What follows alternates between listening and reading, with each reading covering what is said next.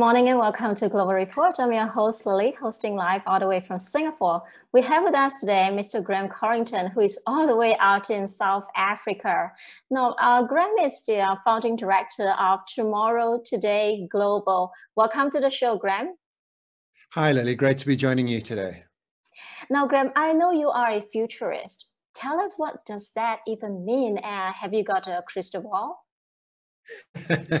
uh, you know what? It's very uh, interesting when I traveled uh, through airports. Obviously, uh, I'm talking about a past life many, many years ago. um, you know, if we can remember going through airports and you have to fill out those arrivals forms and you put in your occupation. Uh, you know, I would put in futurist. It would be easier maybe on myself if I just put in strategy consultant or something like that. Uh, but it's fun to see the border agent sort of looking down and looking up at me. And I've had all sorts of things things. You know, people asking me to predict sports scores and uh, and all sorts. And unfortunately, uh, that isn't what I do. I wish it was. I, I, wish I had a crystal ball. I wish I could make predictions. But if I did that, let's be honest, I'd, I'd be living on a private island somewhere. Anybody who could actually predict the future is obviously making a lot of money.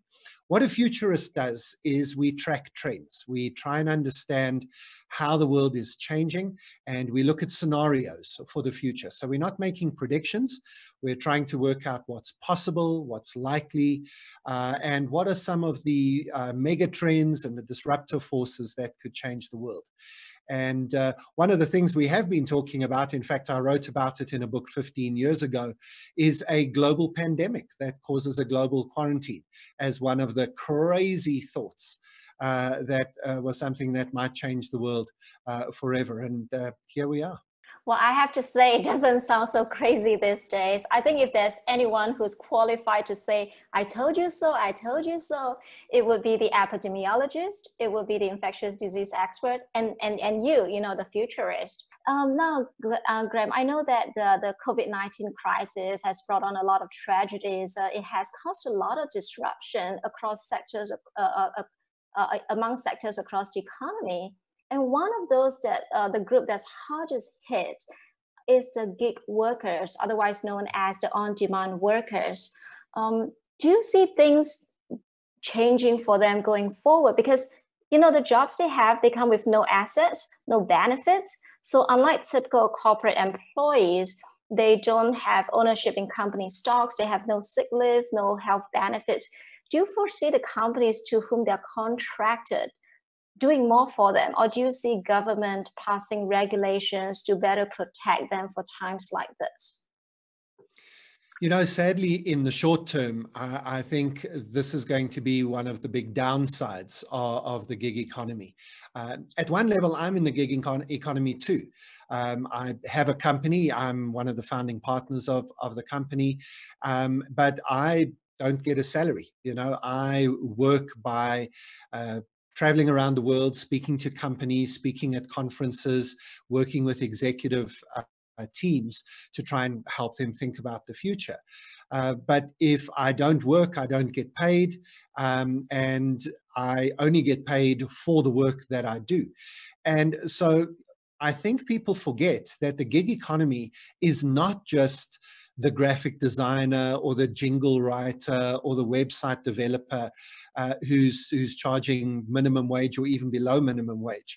There are a lot of people who are basically on contract and who don't rely on a on a salary or, or fixed contracts. They they they go from gig to gig and job to job.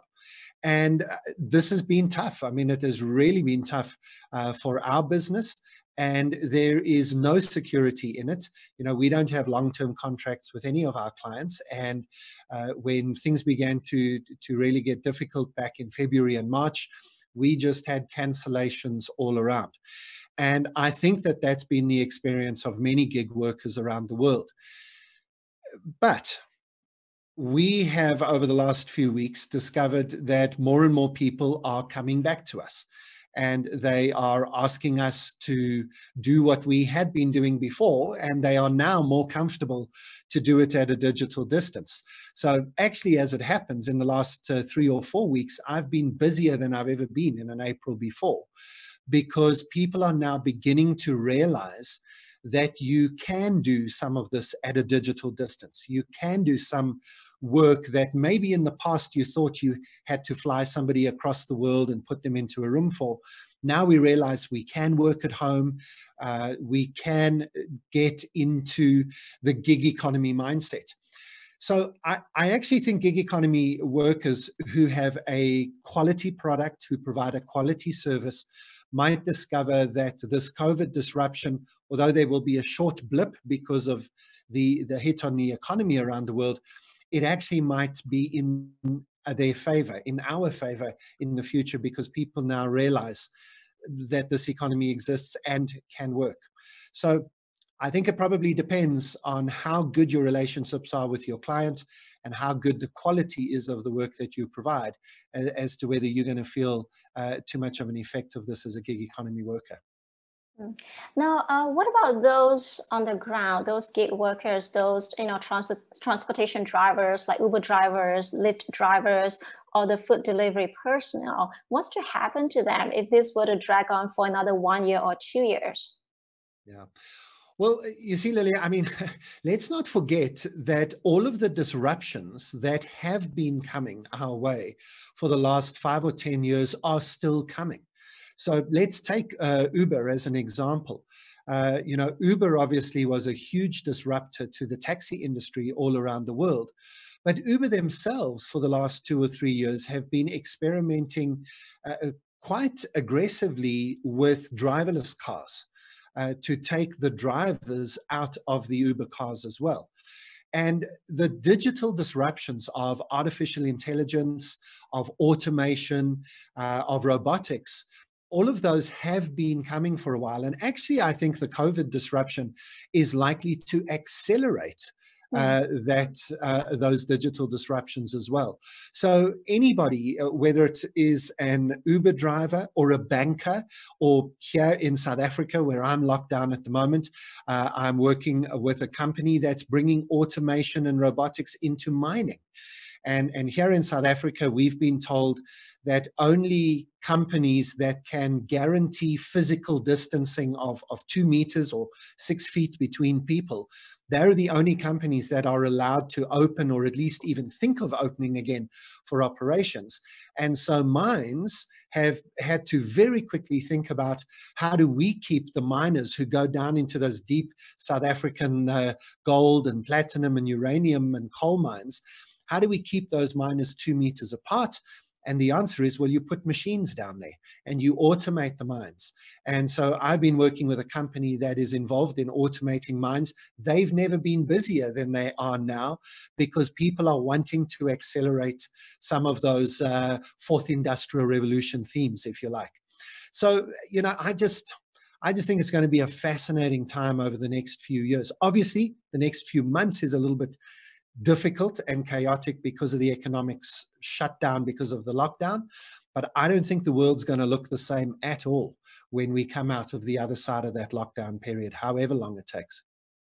I like how you put it uh, that this is actually an acceleration. Um, but we do have this group of ground workers. Do you think that's another industry that we should be channeling them to? Maybe the healthcare industry that is suffering a, a shortage?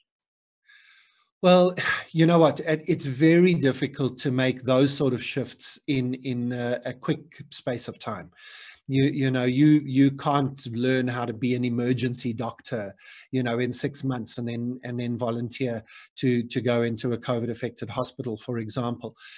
So what we need to do is we need to remind ourselves all around the world that there are a significant number of people in a variety of professions who are going to be deeply impacted uh, by the economic effects of, of the lockdown.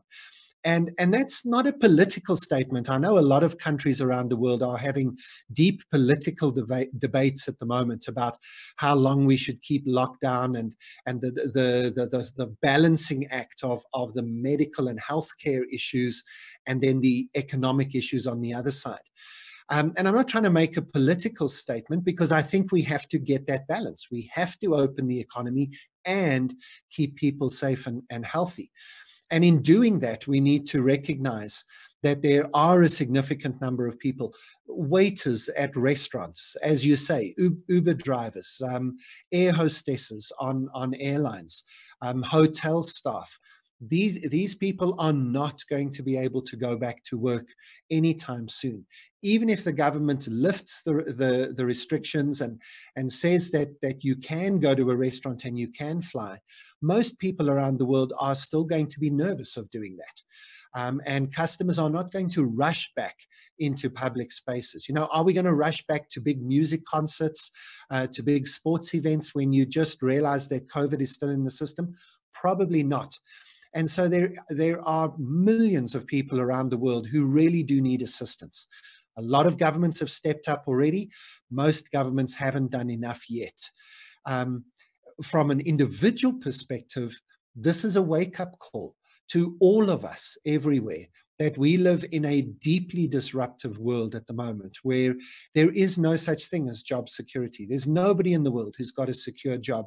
We all have to be thinking about the skill set that is required from a digital world. Um, and that's what the rest of the 2020s is going to be about. Now, talking about healthcare, um, do you foresee a trend in uh, universal healthcare becoming the norm? Because I think one of the weaknesses that COVID-19 crisis ex ex exposed is that uh, a lot of people has no access to basic healthcare. So do you see that becoming the norm, universal healthcare? Well, I just answered your previous question by saying I, I, wasn't trying to make a political point. Obviously, for an American audience uh, in the USA, it's almost impossible to answer your question without making a political point. But but I think you're exactly exactly right. Uh, you know, let me use South Africa as an example. We uh, are one of the world's most unequal countries in in terms of wealth inequality. I've got a lot of rich people and a lot of poor people in the country. And although we do have a government healthcare system that does look after everybody, it really is inadequate for the poorest people. Uh, in in the country. And in fact, part of the stimulus package uh, for uh, COVID-19 response has been a significant amount of money coming from the government for the, the public healthcare system. And certainly countries around the world, and America obviously is your example number one, where healthcare hasn't been something that has been given by right to every citizen in the country. I honestly do think that there will be significant conversations about this um, in the next few years. And obviously, this is one of the big themes coming up in the American elections um, as to which model of, of healthcare makes the most sense. And that's going to be an even bigger conversation if, if you can imagine that it's bigger than it has been. I think in America, it's obviously going to be one of the single defining features of, of uh, the voting taking place in, in October this year. Um, for me, I, I I, I must say that I I appreciate living in a country and being a citizen of a country where I know that if I do get sick, um, they're not going to take my house away. I'm not going to have to get into debt. Um, that I have a system that can look after me, and that I do think makes a, a hang of a difference to the way that a country and an individual uh, responds to a medical crisis like this. I managed to drag you into into politics. Now let's talk about retail. Um, you know, I enjoy taking my daughter to the supermarket, and I foresee myself continuing to do that because it's part of a learning experience. Um, but when it comes to heavy grocery, we order our uh, stuff online even before the crisis. But with the crisis, a lot of people are doing their purchases online.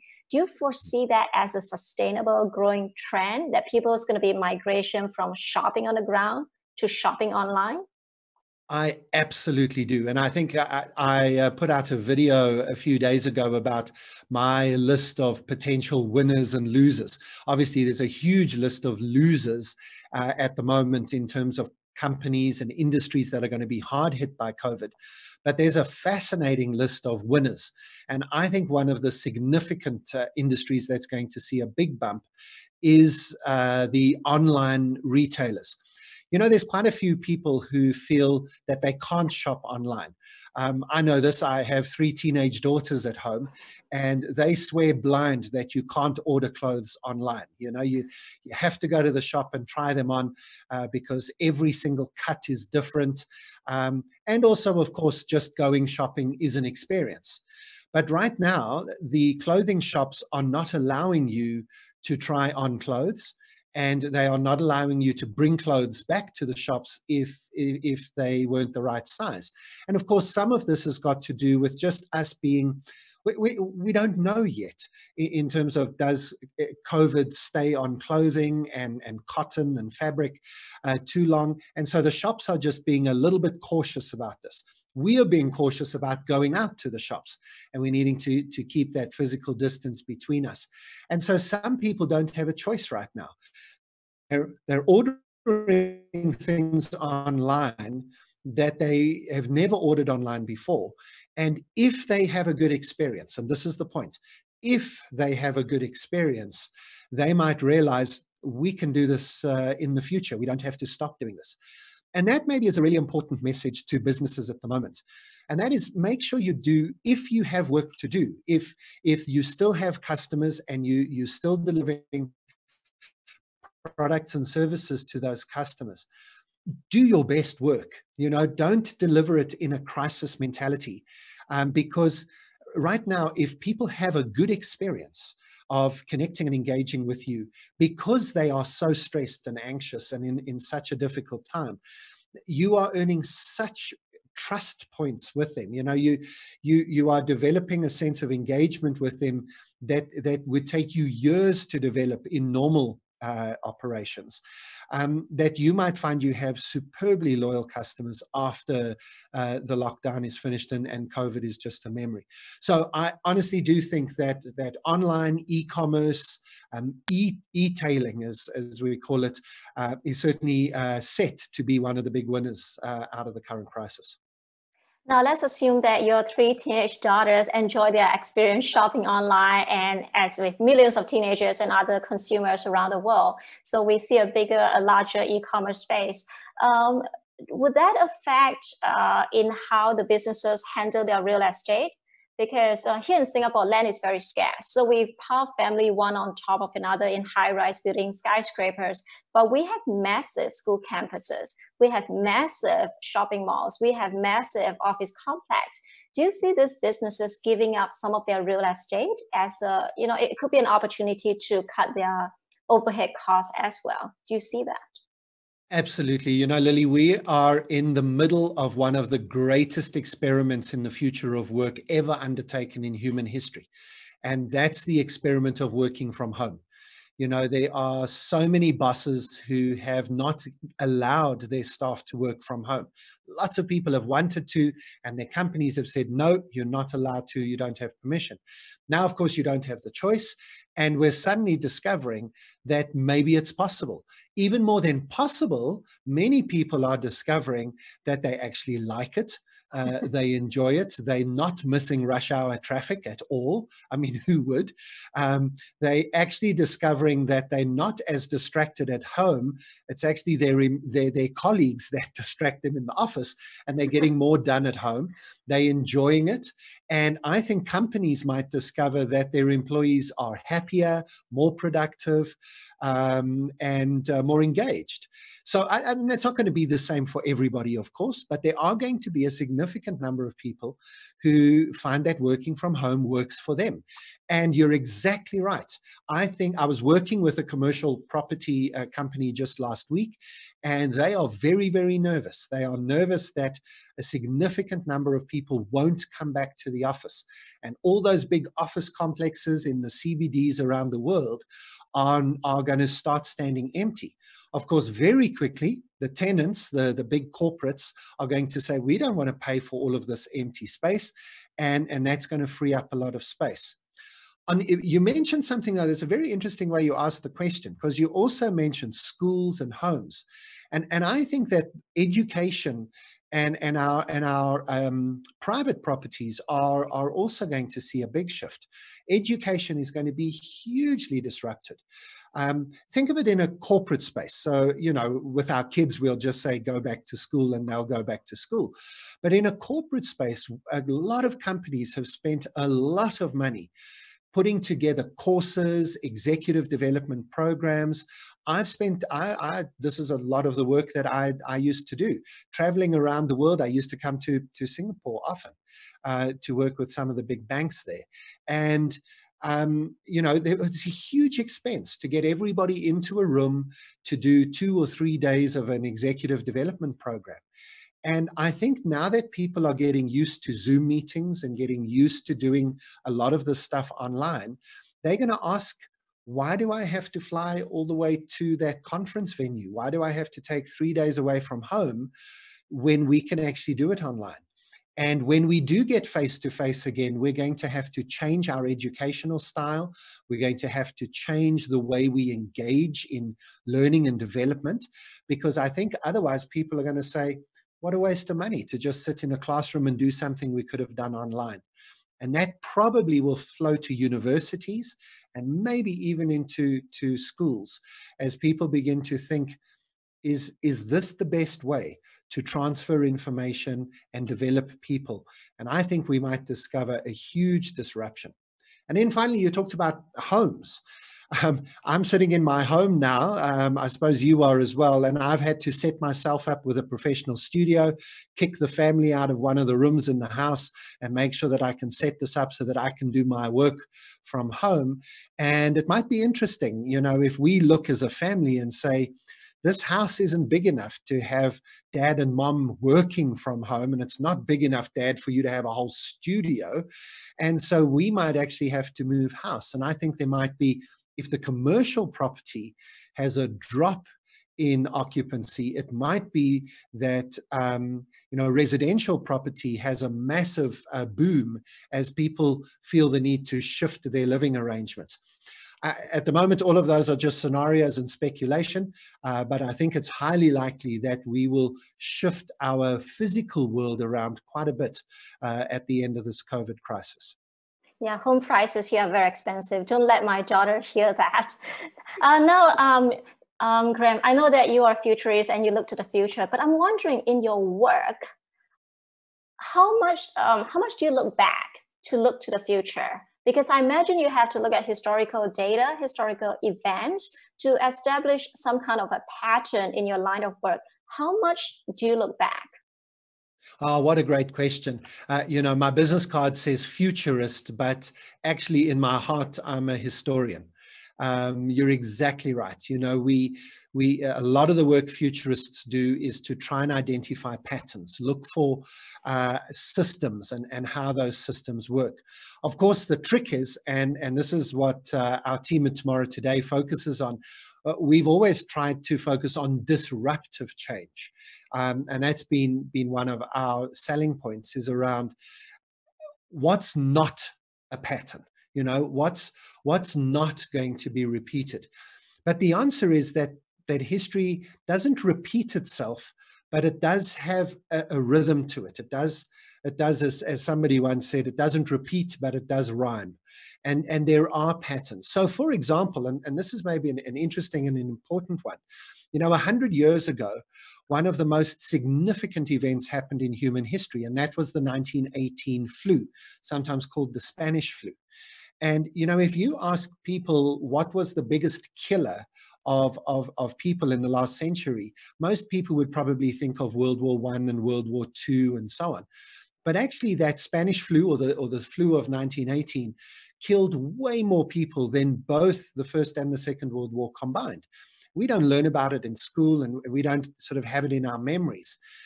But when we look at that um, flu there was a very significant pattern. It was, it was called waves. And there were three waves of the flu. There was the first wave that killed a few million people, and then everybody thought, sure, you know, we got over that and it, and it wasn't that bad. A few months later, as winter came back, um, uh, it, at, at the end of 1918, in the Northern Hemisphere at least, a second wave came, which was the most devastating wave. And then that wave subsided after a few months. And then the third wave actually started in Australia during the Southern Hemisphere winter. And so, you know, that 100 years ago provides us with a very clear warning that we need to be careful. We've only had the first wave of COVID 19. And if we're not careful, and I think you you guys in Singapore are, are, are beginning to get a little bit nervous that there might be a second wave starting in in South Korea, in Singapore, maybe even in China. And the authorities, because of their understanding of history, are moving very very quickly uh, to try and make sure that that doesn't happen. And so, yes, absolutely. You know, a futurist looks into the future. We say, what patterns do we have that that maybe help us to predict? And then also of course, the question has to be what isn't going to be repeated, what is completely new and novel and that we've never seen before. Yeah, unfortunately, it seems too that, uh, you know, humanity is so pig-headed. We don't always learn from history. Um, just look at SARS, look at uh, H1N1. There are history repeating itself. Um, yeah we have continued to ravage the, the earth. We have continued to disrespect the boundaries, the natural boundaries of the animals in the wild. Uh, we think it's okay to cage a pangolin next to a snake and expect them to be living happily in, in distress. Uh, we have a question from a viewer. I'm going to read it out to you. Um, she'd like to know, or maybe it's a he, how is the relationship of COVID and climate change seen in South Africa? Well, you know what? We we take climate change uh, fairly seriously in South Africa. We are now in the eighth or the ninth year of one of the worst droughts we've ever experienced, and and that's true not just in South Africa but across a lot of Africa. We're we're a water scarce continent, and and have been quite dramatically hit by severe weather pattern changes. And so we've been trying to shift our electricity supply to, to renewables. We, we get a lot of sunshine, which is fantastic in South Africa. So we, you know, trying to get solar going and, and wind power and so on. So I honestly hope that because we can see through this COVID crisis that it is possible for the world's governments to get together and, and, and to do something dramatic uh, to deal with the crisis that after the COVID crisis is, is history, that, that we put the same amount of energy and effort into some of the climate crisis issues. Because, in my opinion, those are just as damaging and dangerous to human life on our planet as, as COVID is right now. So, hopefully, uh, we recognize that we have the ability to, to make dramatic changes to the way that we live and the way that we engage in the world and that we use that knowledge to to fix other problems wealth inequality um, other diseases maybe and of course climate change well, Graeme, so much. I wish we have more time. On that very um, prudent note, I just want to thank you for your invaluable insight. Thank you for the generosity of your time and the sharing of your expertise this evening. Thank you so much, Graeme. Thank you. My pleasure. Thank you.